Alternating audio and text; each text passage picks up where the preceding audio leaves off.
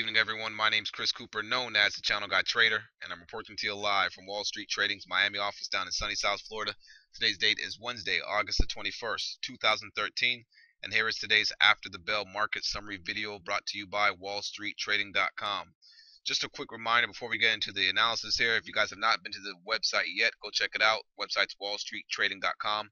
If you have not visited our online active trading room that is open, that opens up at 8 30 or so in the morning. Um, you could go to mywallstreettv.com and the password to log in is SMART, S-M-A-R-T, and you will be greeted by other traders and myself around 8.30. So check it out. A lot of great stuff today. We had a great trade in Lowe's and it worked out pretty well. All right, so let's take a look at the market here. The Dow was down 105, the Nasdaq was down close to 14, and the S&P 500 was down nine and a half. We take a look at the breadth on the market. We had we had uh, 1,600 issues advancing, and we had 4,592 issues declining. So pretty much close to a four to one basis there in favor of the bears. So the market continues to get the selling pressure. We did have uh, some sideways slow action on the market on the open for the you know of course before two o'clock today was a FOMC minutes day so everything was pretty quiet in the morning session and then around two o'clock things got whippy we sold off a little bit initially then we rallied all the way up a lot of the indices made new highs and we closed right dead on the low. So that is definitely bearish activity, and most likely we may be looking forward for some follow through um, tomorrow during tomorrow's session there. So let's go ahead and break down the charts, guys. Got a lot of stuff to cover here. I want to go to the indices and everything first, and then we'll take a look at some individual stocks. So make sure you tune into the video. If you like the analysis that you see here, make sure you share the videos with your trading friends, your different websites that you may uh, be on, or whatever the case may be we would definitely appreciate that. Aside from that, let's go ahead and get this thing started here. Uh, starting off with the SPY, the S&P 500 ETF closed down a dollar, a little over half a percent. You can see we closed at 164.56, and like I was explaining explaining in yesterday's video, the same way that we had this nice, so not not even nice, I would say, but we had this same uh, this kind of grind, choppy move higher. There's really no support in this area area. I mean, you really don't see any type of congestion that could act as support if price was to come down for a back test of a breakout that would act as support anything like that. We're not seeing that because this whole move up happened pretty choppy and uh, you know in a, in a, a uh, non-convincing manner. So therefore, the market could easily come right back down fluidly the same way it went up uh, fluidly here. All right, something like uh, this. but uh, so as far as some levels goes to watch here below, again, we do have the 100-day simple and exponential moving average right here at 163.12. That may uh, be a target for tomorrow for us. If we gap down to that level, they may buy it right there. At the same time, a good level to watch is going to be coming in here, here around 162. That comes from this little gap down opening price there, prior resistance, finally broke. So that's going to be a decent support level to buy if we were to continue selling off, as then we would be a little bit more extended from the highs that we made up here at 171 to that 162 level. But uh, the trigger for tomorrow would be if we break below today's lows around 164.20, look for them to give us some more selling pressure. If we can get back above 164.75, 165 and hold, we could get maybe move back towards the top of this little range and start to trade in a little range here with some support in this area. So we'll have to wait and see how that plays out. Um, the ES, all right, continues to sell after the closing uh, price here. We closed, and uh, the market just continues to sell here. And uh, the ES is even breaking below some key levels here. Next level that you have to watch on the ES, I would say, is going to be around this uh, one uh, around the 1610 level. All right, this was a little range that we had here. We held support, we broke, we got back above it, so now it's support. So 160, 1610 will be a, a, a good level to watch if we continue selling. At the same time, on the ES daily chart, which is what the instrument that we use to track our stocks intraday in a chat room, uh, 1630 is going to be a, a little short-term level as that's where the 100-day simple and exponential moving average are located at take a look at the Nasdaq, starting off with the triple Qs. I also want to take a look here at my proprietary channel analysis on the on the Nasdaq futures, but start off with this first. The Nasdaq, as you guys remember, 75 was a key level back here. Remember, we were chopping around 75 before we finally broke above it. So on a retest at 75 would be a good level to watch. If we break below 75 and hold below 75, look for them to try to bring us back down here towards 74.21, which is also going to line up, which is also going to line up with these uh, rising 50-day moving averages right here on the daily chart. Now, if we take a look at the NASDAQ futures, if you guys recall, a couple months ago, you know, I told you guys to buy the NASDAQ because we were setting up for a buy signal in my proprietary channel analysis on my channel system here. And that was definitely a good call because as you can see, out of that little range that I had highlighted before. Um, we broke out. We rallied up. We got rejected. There's another key trend line I have right here. We rallied back down. Got a nice little bounce at the bottom of the channel.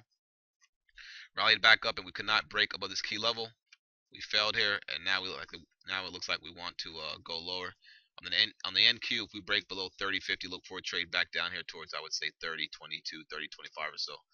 But the Nasdaq channels are looking pretty decent, and if you look at this at, at an angle, if I also turn this screen a little bit sideways here, um, well, turn this channel sideways instead of at this little slightly uh, this little slanted slope here, it would look more like this, and the price action inside will look more like a uh, kind of like this, right? Like a little double top with a failed breakout. So that's what I'm seeing right now.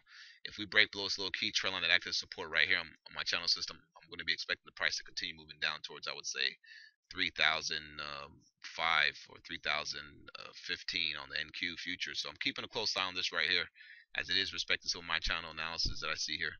Um, the IWM, the Russell 2000, uh, Russell 2000 has been showing some relative strength the past couple days, or at least yesterday showed a little bit of strength, relative strength again this morning. But of course, it closed dead on the lows. It flashed above yesterday's highs and it closed right uh, dead near the lows there, or close to yesterday's lows. Um, key level we have to watch on the IWM is going to be right here around the 99.50 prior resistance broke out, so now it's active support. This is going to be a good reference level to work off of. Also lines up with this rising trend line and this uh, rising 108 moving average, simple and exponential on the daily chart here. So keep an eye on this 99 level, 99.50 area if we continue to sell. And the Russell, if we break back above, I would say 103, then that would be a little bit more to the point where I'll be a little bit more neutral to bullish. But right now, I'm kind of neutral uh, to bearish until we get back above 103 on the Russell 2000, which is this nice support level that broke right there.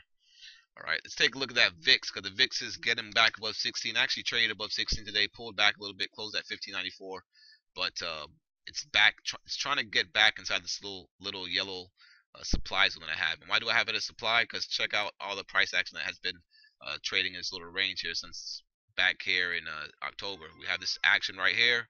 We have some more action right here. We had a little fake breakout that did not hold. Some more action right here some more action right here that broke above 16 but it couldn't hold we had some more action right here that broke above 16 trade up to 22 that could not hold went back below 16 so 16 is definitely a nice reference level to work off on the VIX if we break and hold above 16 on the VIX you could expect this thing to start trading back up towards 17 18 19 now one thing that I see on the ES is the fact is that this ES can actually sell off towards uh, all the way back down believe it or not towards uh, 1610 if we break 1610 it could go all the way back down towards 16 towards a 1560. I mean, this is like a little rounding top right here that broke back below its key 1650 support level. So it's getting a little bit interesting now, and uh, I'm not seeing that many dip buys in the market anymore. Let's take a look at the commodities. The commodities were weak today. Gold did get a nice little pop when the FOMC minutes came out, and it's uh, holding above this key 130 area, I would say. So keep an eye on gold. If it breaks over, I would say 134 or 133 or so, better yet 133.50 from this little high that it made last Friday. Since it's trading in this range off this expansion bar, kind of like a little bull flag here. Um, this thing could get going to back to the top side towards 137.44. Silver had a nice little pop today. Um, SLV, let's go and take a look at that real quick. Um, SLV, it's up here, trying to hold support around 22. If we break back below 22, look for some gap for some back and fill action, but I am still looking for silver to pull back a bit and make a little higher pivot low off these little off this little powerful move here somewhere. Uh, let's go ahead and take a look at a couple of uh, hold on one second. All right, guys, sorry about that. Excuse me here. So, um, so silver, I'm looking for that to pull back. Let's go and take a look at crude oil via the USO and not the crude oil futures. We'll, we got to take a look at crude oil futures on both of them. Uh, USO is trading in a range between 38.50 and 36.50. Keep an eye on if it comes back down here towards 36.50. See if it holds. We are still moving off this nice little move up, sideways action. So this is still indicative of a, uh, a possible move higher. So keep an eye on crude oil.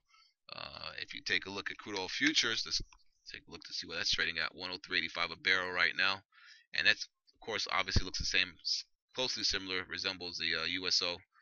This one's this one's trading in a range between uh, 108 and uh, 102.50 or so off this little up move. So keep an eye on this range. Um, let's go ahead and talk about some stocks now. We did see some standout stocks today. Visa was up close to uh, 3%, 2.98%. Right, has a nice little bar here. Pulled off a little bit off the highs, but still had a nice little bar. Um, Lowe's. Now this is kind of ugly because Lowe's broke out to new all-time highs and then pulled back in off this little inverted hammer or um, yeah, inverted hammer I would call it. You know, some of you guys may have other names for it, but who cares about the name? Just know that it's bearish. We did a nice little breakout over this level, and we rallied up and we closed. I would say in the lower 90% or at least lower 80% of this price action. Look for the stock to maybe try to rally up a bit. Then when it fails, when it fails to rally intraday, tomorrow look to try to get short that off some type of little pivot high or some lower pivot high or something because this may want to um, fill this gap here because this is a powerful little reversal right here from from that action. Um, let's take a look see what Home Depot did, which is its competitor. Um, you know, of course, they do a lot of uh, they sell a lot of uh, home improvement stuff or housing products, building products, I should say. And even Home Depot looks weak here. Home Depot pulls back down towards 72.35. We have to see how it acts around that level. Um, I posted some news on the Facebook page regarding the FOMC minutes. I have not looked into the detail what they had to say, but what I do see um, from what they said was, let's bring it up here real quick. Let's see here. One second, guys. Alright, so FOMC minutes, broad support for Bernanke's tapering timeline, mixed on bond purchases, few official a few officials, I guess, wants to be says few official wants to be patient before final decision on bond buys. So I mean, um, that's that's what they're uh, saying there, and um, I guess that caused the market to shake up. I mean, the ES rallied. The ES when that news came out, the ES hit a low of 1636, rallied all the way up to 1654, and then rallied all the way back down to closing lows, and it's currently trading 1635 that type of action in the last two hours of the day is not bullish, folks. So we got to make sure we have some shorts on the radar for tomorrow, and maybe have some stocks that may sell off tomorrow, and then if they sell off another day and tomorrow, they'll be coming into some decent support levels. So I'll be doing some research on those type of setups and stocks tonight. Um, but overall, the you know the market was pretty bearish. I mean, financials were down today after having a little bounce yesterday. The sector's been weak, so they just probably got some little BS bounce, for lack of a better word. And then today they had some more fall to the sell side as people were able to short those stocks at that from the bounce levels that they made yesterday. Um, Apple was. Let's go and take a look at Apple. Apple was up a quarter percent. Of course, obviously that's nothing. Apple had a nothing day. Uh, let's see here. And of course, Apple looks like it may pull back a little bit. I would not be a buyer of Apple at 510 after it rallied in one, two, three, four, five, six, seven weeks all the way from 390. I would wait for this thing at least to pull back or get some type of retracement. A good a good level to buy Apple would be down here at 470 from a little break this little consolidation range it had right here for like a back test or something. Um, but Apple, Amazon, we can take a look at Amazon. Amazon has not been able to catch a bid. Well, actually, it's been catching a bid lately, and it's kind it's been trying to catch a bit in this little area in front of this resistance around 281, which would act as support. So they may try to do a little flash down in Amazon, but then tomorrow, if Amazon was to sell off and you were to see that it forms some type of little hammer on the 15 or the 30 or the hourly candlestick, try to see if you can maybe pick that up for reversal and see if this thing can try to close back up. So keep an eye on Amazon. This area is getting pretty close to a little uh, area where you maybe where you could look to buy a little bit. All right, because this was a little range that we had right here before it broke out. So in this little whole little area could be a possible, uh, it's like a little demand zone, but no telling if it's going to be demand zone at the top of the range in here at the very bottom of the range for a little shakeout and then move back up, all right? Uh, what else are we looking at here? Uh, WDC was a standout stock today for the data storage stocks for technology. Um, keep an eye on this one. All right, uh, keep an eye on WDC. Had a nice little, had a nice little update today. Just trying to break back inside this little channel had this little key support trend line. Right here, you can see what's moving around there, moving around there. Keep an eye on WDC tomorrow. You can also watch STX, which is in the same sector, in the same industry, STX, EMC, SNDK, NTAP. All those stocks are involved with data storage. STX is in front of, uh, on top of support around 38, trading 39.51. SNDK, I think this one was weak today. I got a little bounce today, but nothing crazy there. Chart still needs to do some recovery. SNDK. Then you have NTAP. We can take a look at this one real quick here as well.